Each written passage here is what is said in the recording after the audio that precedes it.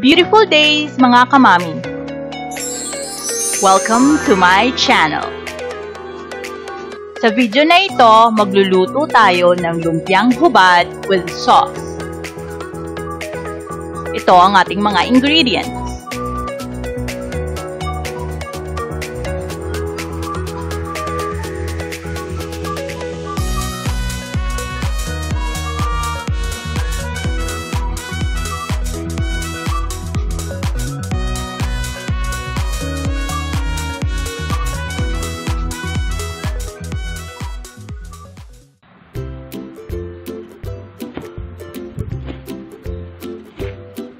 Balatan at hiwain natin ang singkamas ng pahaba o strips.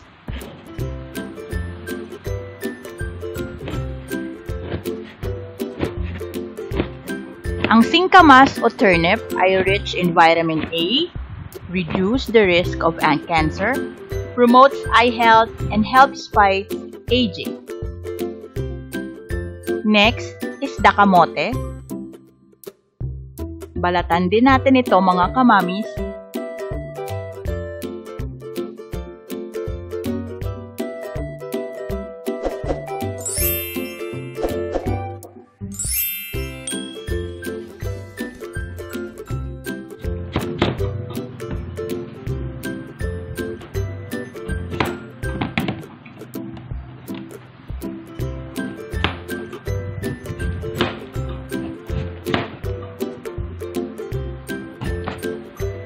at hiwain din ng pahaba.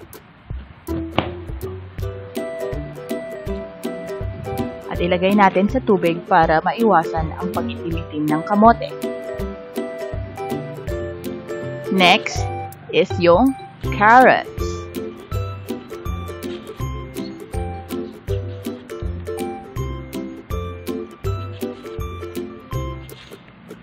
So, babalatan din natin ang carrots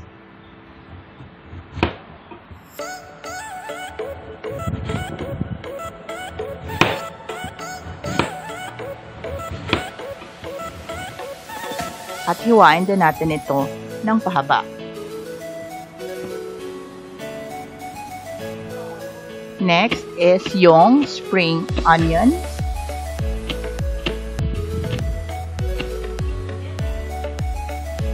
Yung sibuyas.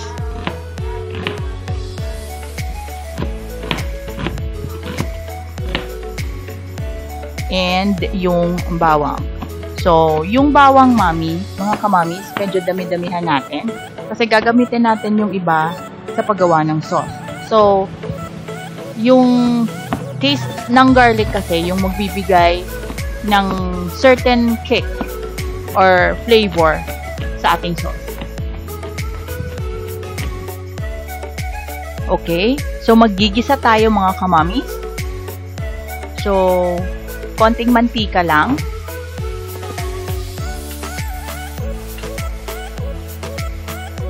Ilagay muna natin yung bawang.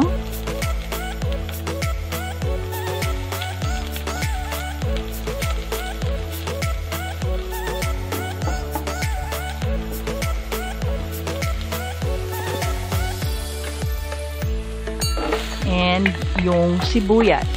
So, sutay-sutay lang to mga kamamis ha. Mga kamamis, subscribe na.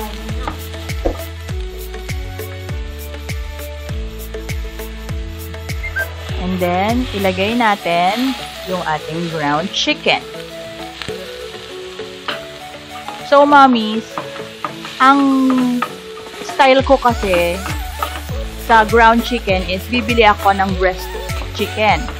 So, puro breast siya. And then, sa bahay, i-debone ko lang siya and then ako na mag-chop. So, there are some groceries also na puro may they have available na breast chicken lang. So, mas easier. Pero when you go to sa wet market, so yun talaga yung process. Kasi hindi naman nagbebenta sila ng breast chicken lang na debone na or chicken fillet na, naka-fillet na.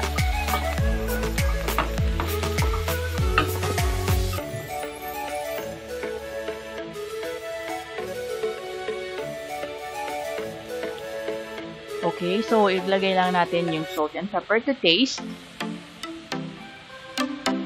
And soy sauce.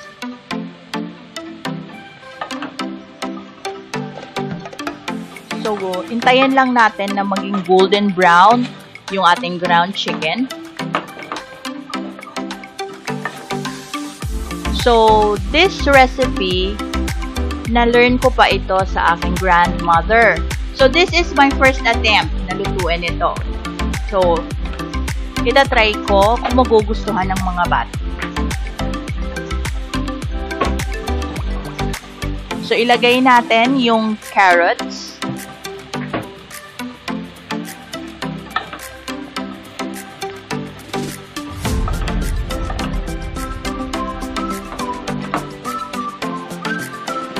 And then, the kamote. So, inuna natin, mga kamami, yung mga medyo matagal maluto na ingredients.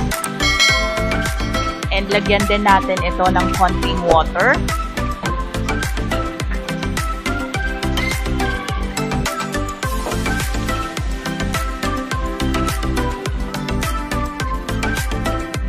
And i-boil lang natin ito for 2 to 3 minutes.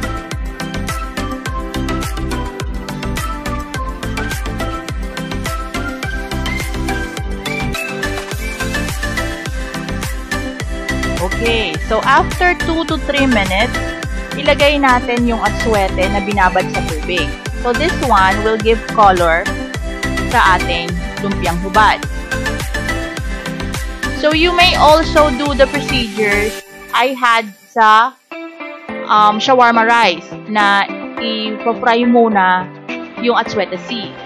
So, you can do that also mga kamamis.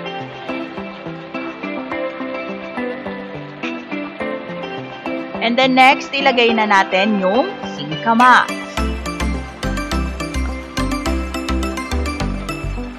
Mga kamamis, don't forget to subscribe and comment down below kung ano ang masasabi nyo sa recipe natin na ngayon.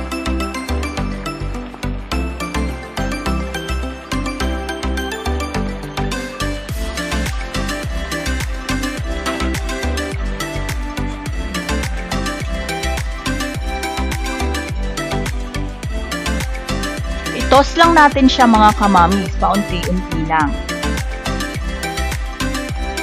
And then, i-cover lang natin for another 2 to 3 minutes para maluto ang singkamas. Ayan.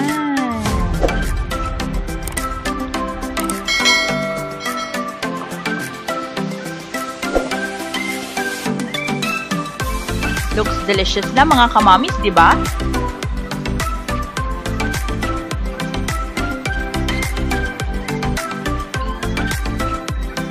Now, for the sauce, maglagay lang na tayo ng 2 and a half cups of water sa saucepan. Tapos, ilagay lang natin yung chopped na bawang. Bring to boil lang natin yung tubig, mga kamamis.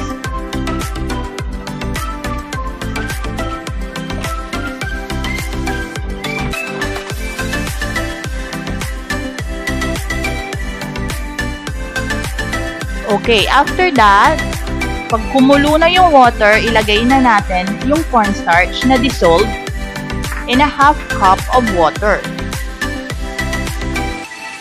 Stir-stir lang mga kamami until lumapot po yung sauce.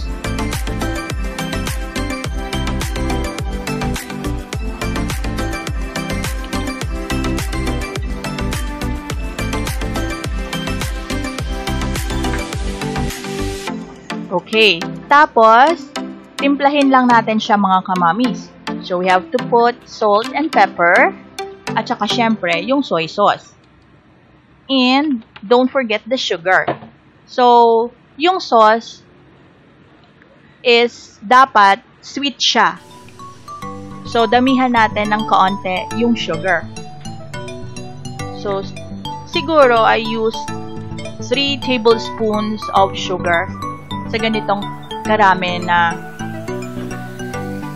mixture. Okay, so the sauce is all set. Yan ang consistency na hinahanap natin, malapot.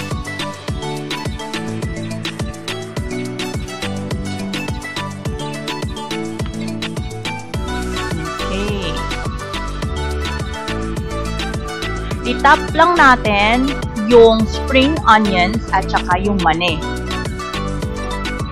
Crushed peanuts mga kamamis ha. Ayan. Mga kamamis, another recipe to try. Healthy na at affordable. At take note, bold pa. Enjoy na enjoy ang mga bata. And, the trick, napakain ko sila ng vegetables.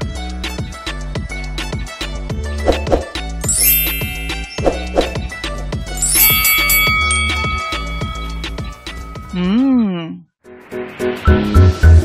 Thank you mga kamamis. Enjoy and hope to see you in my next vlog.